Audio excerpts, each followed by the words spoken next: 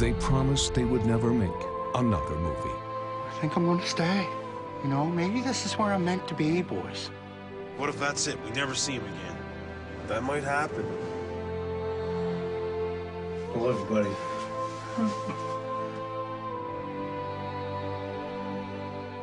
Who's got Jamali? They lied. The boys are back. Holy fuck. And things look promising.